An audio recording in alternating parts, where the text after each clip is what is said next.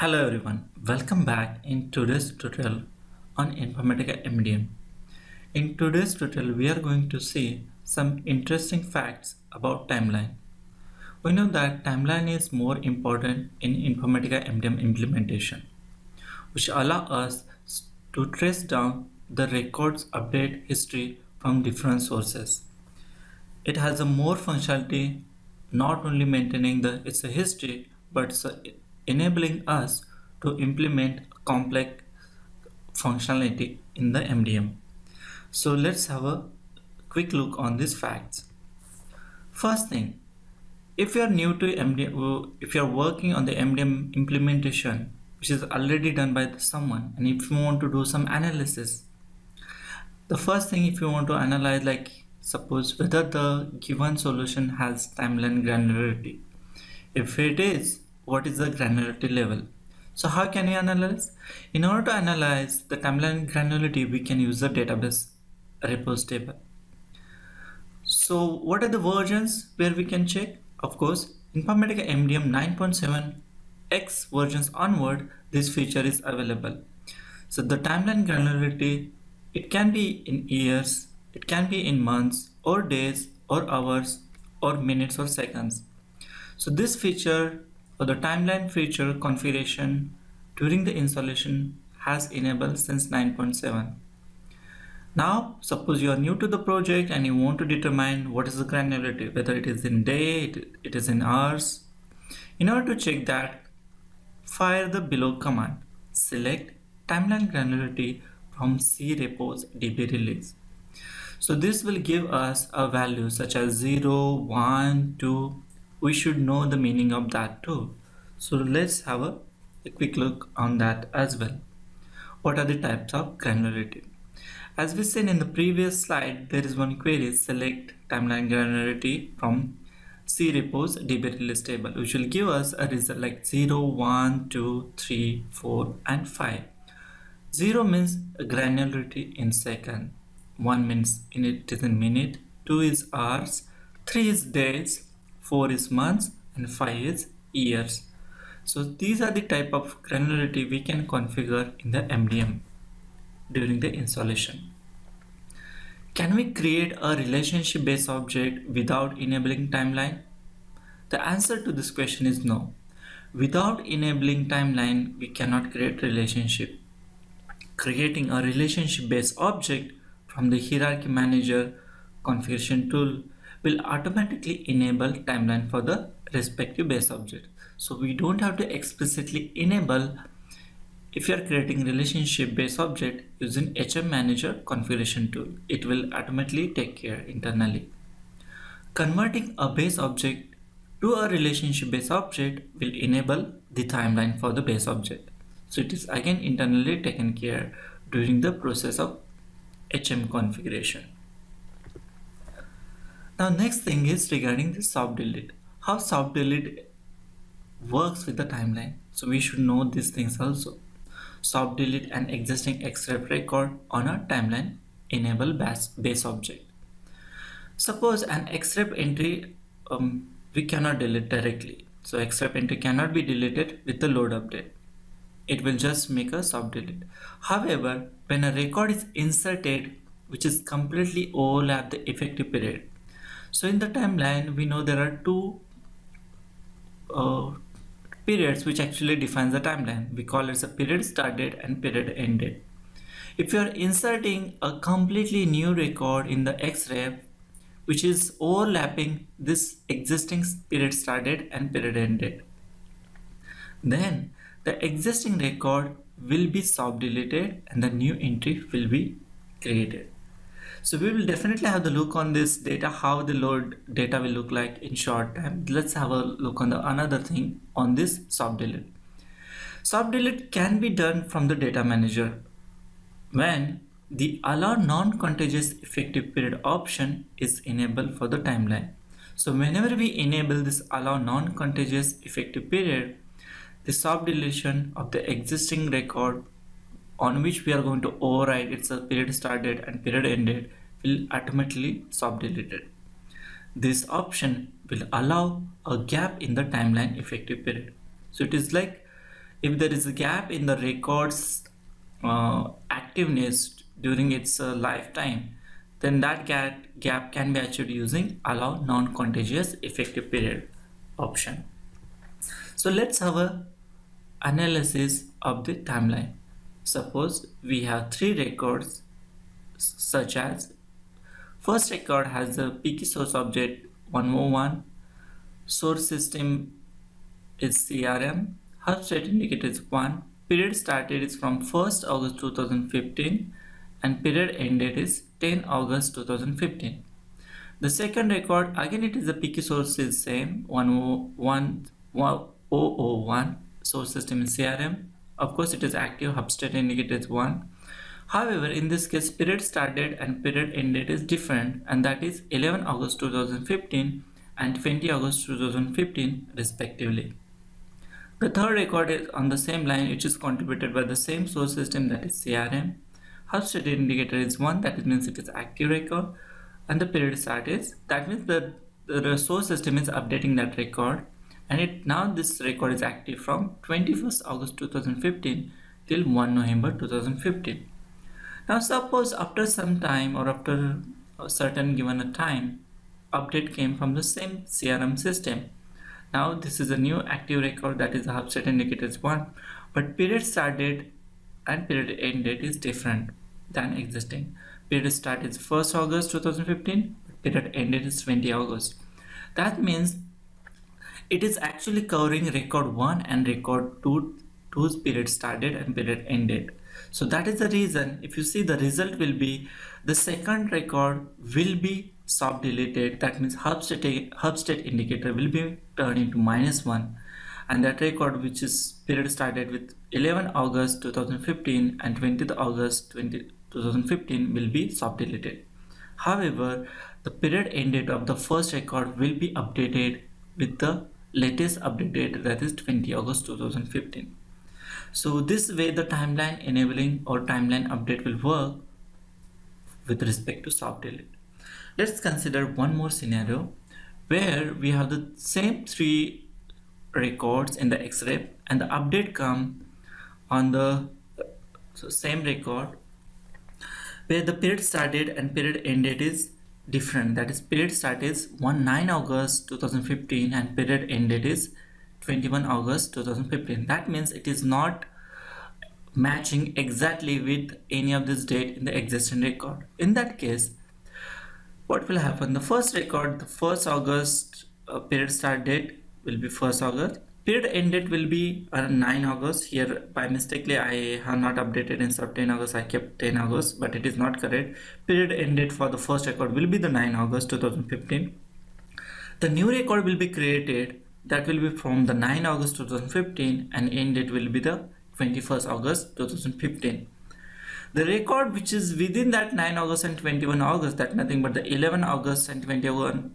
20th August that will be soft deleted because that is already covered by the record number 2 in the result.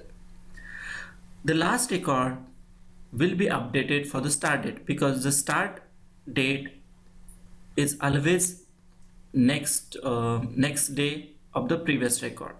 So as the record 2 has the 21st august 2015 as the period ended and it is active that is the, the, the last record has the start date as the 22 august 2015 and the end date is the same that is 1 november 2015 for uh, these two examples we have considered the timeline enable for the three. That means it is daily. We are not granularly tracing this. We are tracing at the day level. If you trace at the minutes or second level it will be a more performance hit in your application so depending on the, your data depending on the business requirement you can you can enable this timeline as per your need now suppose if you want to update period start date and period end date for the timeline enable base object how can we do that of course, Informatica MDM provide the granular web service. We, we can use that and it has one operation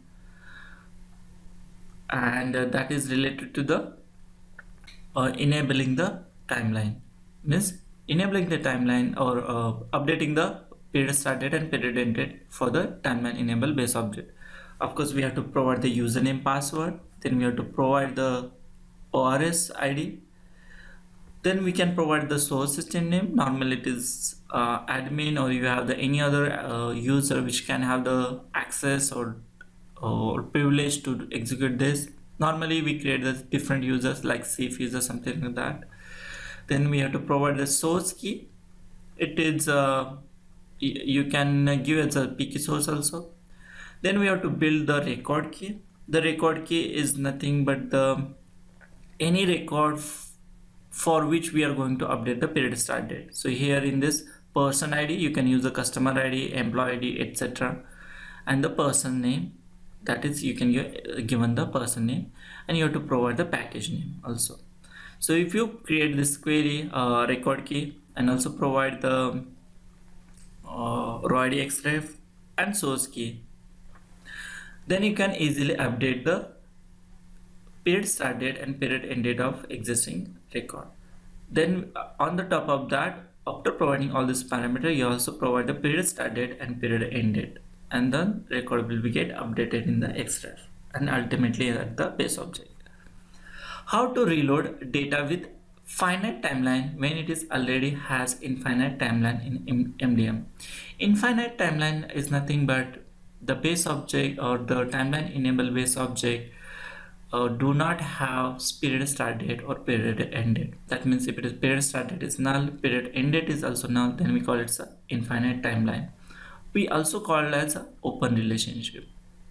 So if you have the open relationship or infinite timeline, how can we update its a period started and period ended in bulk? In order to do that, we have to run the stage job and the load job for this same set of records with period started and period ended values. So whenever we configure the stage uh, table, we have to also provide the values for the period started and period ended. Then and then we'll able to update this. This will create a new XREF record for each of these records reloaded with the period started and period ended. That means there will be a different XREF record created. This will update the XREF uh, uh, existing cross-reference with the period ended and period started minus one of the new XREF.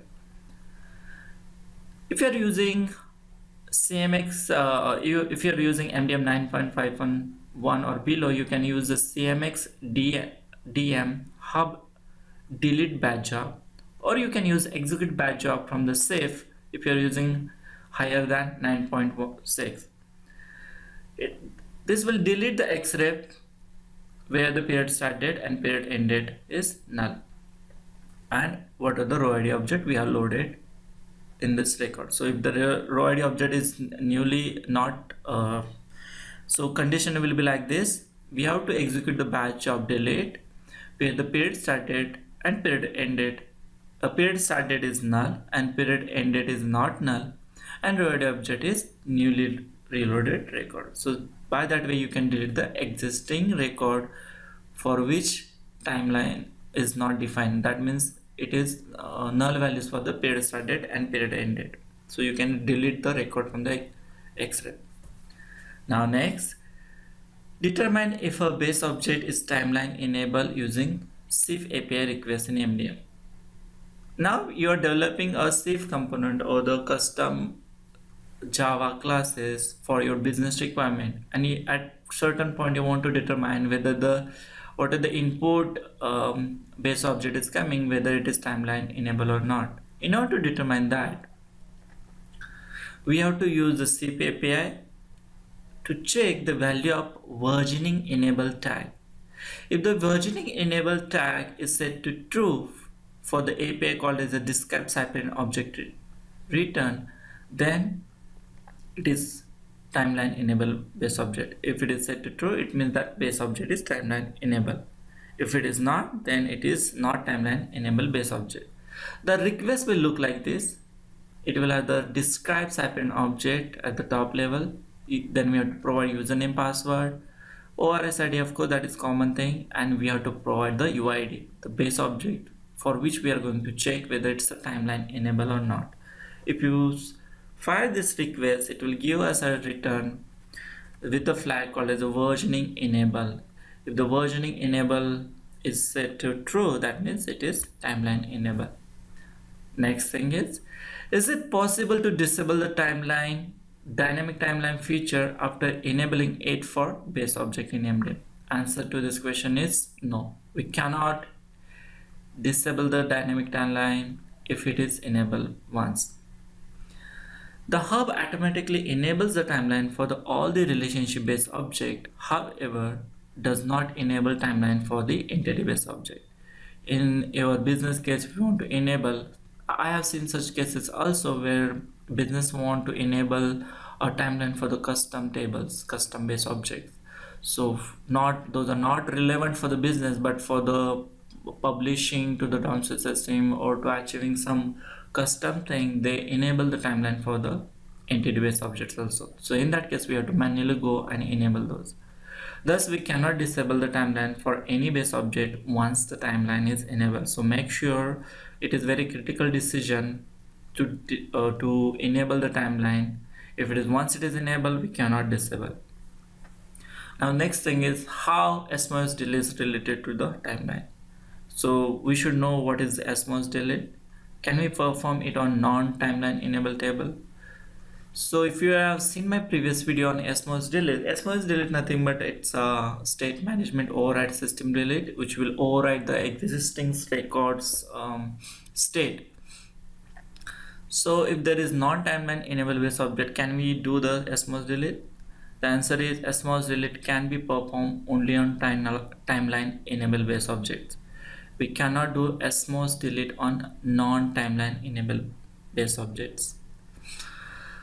Next thing is these things are definitely going to help you if you are enable the timeline. So I uh, so I captured these things also how to recreate relationship which end dated on the same day with the timeline granularity 3 so that means 3 granularity 3 means it is we have enabled the timeline granularity on the day level.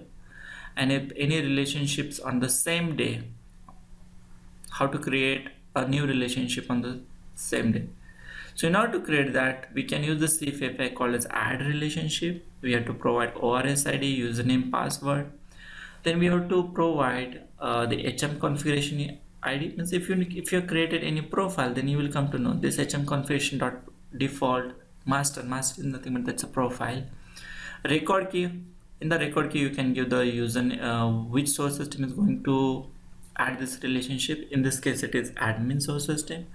Relationship type id so what kind of relation you want to update? Suppose you have the employees to or ultimate credit what kind of relationship you want to update? Then you can give that here it is hm relationship type dot contains member. The contains member is a relationship type here. Then we have to provide the hierarchy id hierarchy id is nothing but the entity. What are the entities in your hierarchy? So hm hierarchy dot customer is the hierarchy id then you have to provide which relationship you want to add. So you have to provide the record key that is row id object.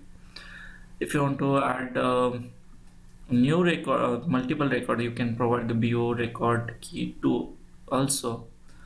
And then you can provide the start date of that relationship means that start date will be the same. So here the record one 302 is it will be end dated on the same day and it will be created for the bo2 that is 1244 on the same day.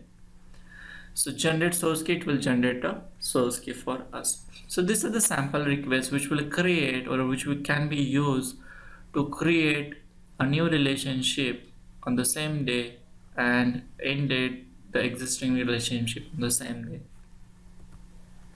so these are the couple of facts about the timeline. I hope this video tutorial is going to help you to understand and definitely to analyze the existing timeline enable project. Thank you for my watching my video. And if you do not have subscribed my channel go ahead and subscribe and if you have any questions about Informatica MDM, SIF, IDD, user exit, Hadoop or any other uh, technology such as Java, JavaScript or database related queries you can mention the comment section of these videos. Thank you and have a wonderful time.